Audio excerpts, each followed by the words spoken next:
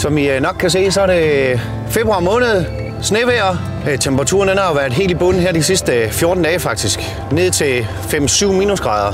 Men der er nogle små ændringer i vejret i dag. Temperaturen er på 3 plusgrader lige nu og skulle gerne komme op på 5. Men det er sådan noget, man skal holde øje med normalvis.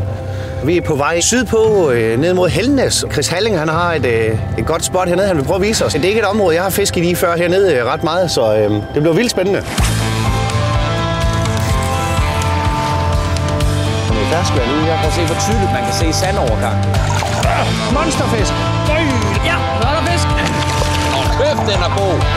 Flot fisk. Woo!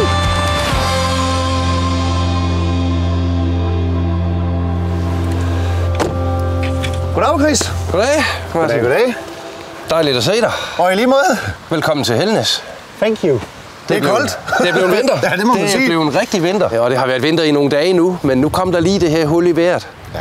Som lige gør, at nu kan vi lige komme ud. Nu kan man næsten holde det ud i går. Jamen Chris, hvor er det lige præcis, vi er landet henne faktisk? Og vi er jo helt inde i bunden af Helnesbugten her.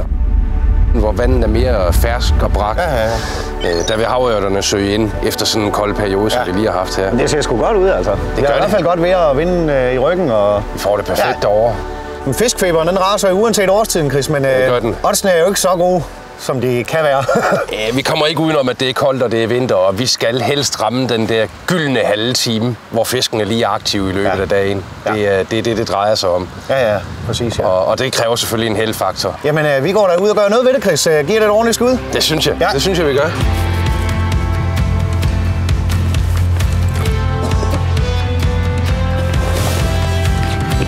Et rigtig godt tip her om vinteren, det er at have gjort så meget klart hjemmefra som muligt. Ha' sin stang rigget klar, lagt den ind i bilen. Tag handskerne på ind i bilen. Huen på ind i bilen, så når man kommer ud i vinterkulden, i sin vaders på med vadejakken, afsted med stangen. Chris, nu øh, sagde du jo, det var et øh, lavvandet område, vi skulle fiske på. Det er at tage sådan en gennemløberblink på. Og så en ophængerflue, en børsteorm. Det er jo også tiden nu, at man spotter de første af dem. Jeg har faktisk øh, spottet de første børsteorm, så det, det er nok ikke så tosset. Nej. Jeg holder mig klassisk vinter. Polar Magnus, enkel flue. Og nu kom solen. Nu skal vi derud. Oh, det bliver fedt at prøve det her. Det er altid spændende med noget nyt vand. Ja, og- og så måske lige ramme den her halve time sol her. Ja, ja.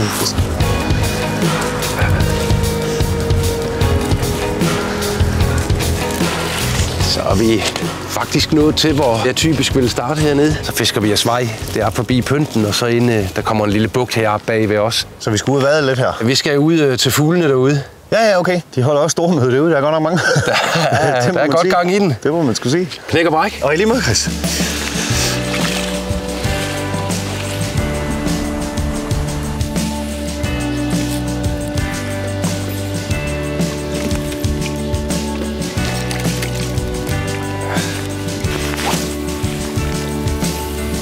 Så øh, fik vi gang i noget fiskeri.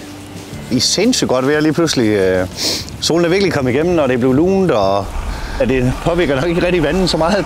Chris er lige gået udenom en stor isflage, som jo siger en hel masse om øh, temperaturen i vandet lige nu. Vi kan lige mærke lidt lun fra solen af, og det er en vildt spændende plads. Det er sådan lidt mudderbund, øh, vi går på, som jo øh, tit og ofte er det, de søger ind på om vinteren. Det er ikke noget fiskeri, jeg lige har ude foran min hoveddør, det her. Det er, det er lidt anderledes end, øh, end østkysten på Fyn, det her. Sådan noget øh, inderfjord og mudderbund her, det har vi ikke alverden af derude. Og der skal også nok være en fisk her. Det er bare et spørgsmål, om vi kan få dem til at komme på finnerne lidt i det kølige vand her.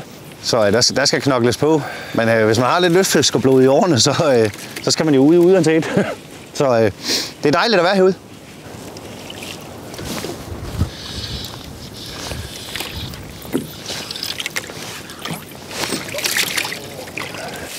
Vi går jo på noget forholdsvis øh, sandet, halv blødbund her.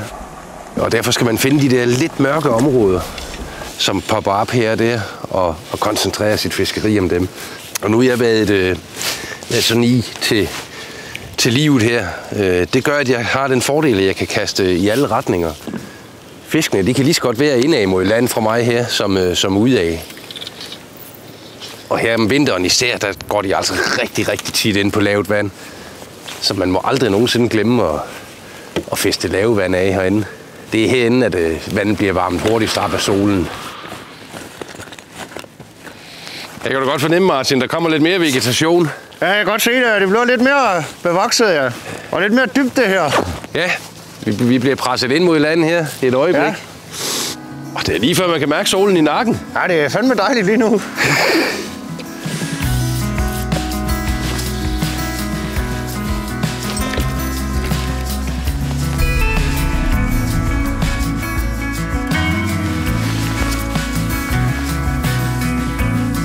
Som I kan se, så er vi kommet ud øh, på lidt dybere vand. Det kan tydeligt mærkes, når man kommer ud og har gået en times tid herude. Der gælder det altså om at have det rigtige påklædning på, hvis man skal holde øh, nogle timer herude. Vinterbeklædning har vi faktisk lavet en øh, rigtig fin film om, så hvis I mangler lidt øh, tips og tricks til, til beklædningsdelen, så prøv at tjekke den ud på kanalen.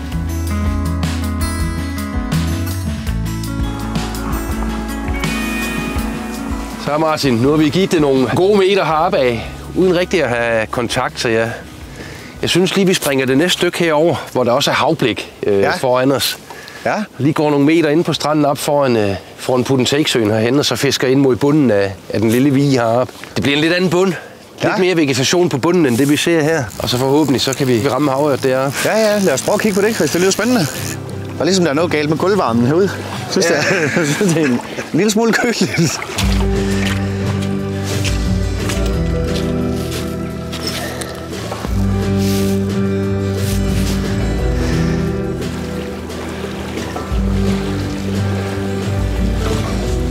Er lidt mere vind heromme. Ja, der er lidt mere luft, kan jeg godt se. Og lidt mere riflet overflade. Det der havblik, det har aldrig rigtig sagt mig noget. Nej. Det er besværligt. Det gør fiskene mere sky og... Jeg er sgu heller ikke så stor tilhænger af helt øh, blank overflade. Så det her, det ser bare helt ideelt ud. Og herude, der kan du se, der får vi en mere markant kant Ja, ja, ja, det kan jeg på også se. vegetationen. Det ser sgu fedt ud her. Der bliver en mørkere bund herude. Det gør det.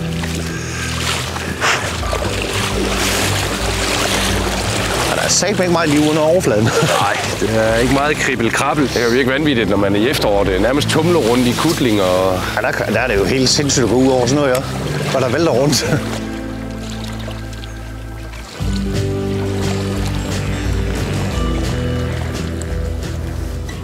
Ej, der var fisk. Der var. Den kom bare så brandkontant. Kom så lige med en lille en. Eller en stor en. Jeg har bare ikke mærket noget som helst, der har været hårdt. Det har bare været blæ. lidt mudder, hvis der har været. Det her, det er om noget hotspottet heroppe. Og så helt ind i bunden, hvor vi kommer fra. Og ser godt ud her, mand.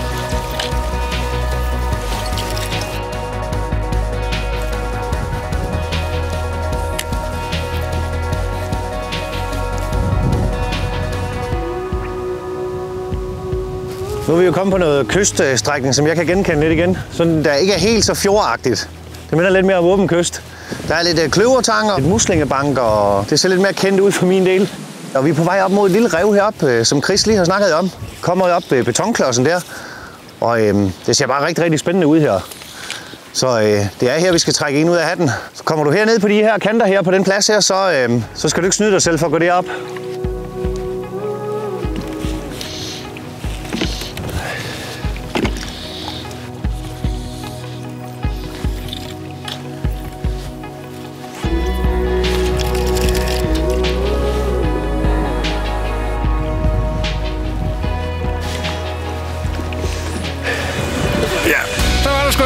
Fisk. Røg, den gode en, mand. Yes! Yes, yes, yes, yes! Sådan, Chris. Sådan! Er det rigtig god? Ja, det er en rigtig god fisk. Den ser rigtig god ud, ja. Fedt, mand. Så hjalp det at gå ind på det lidt mere regulære kyst. Kanon, mand. Det her det er en rigtig, rigtig fin vinterfisk. Det er flispræmien af alle. Ej, hvor er den fin, mand. Fuck, den er god, den der, Chris. Sådan, mand. Det er kraftedeme godt, det der. Nøj, en fin basse, mand. Vi, vi er plus tre øh, i hvert fald. Øj, den er god, mand. Så glemmer man jo bare alt om kulde og våde hænder og... Øj! Ja. Fuck, den er flot. Sådan! Yes, yes, yes, yes! Sådan, mand! Yeah. en god fast, mand. Ej, hvor er det fint. Så bliver det ikke bedre. Ah!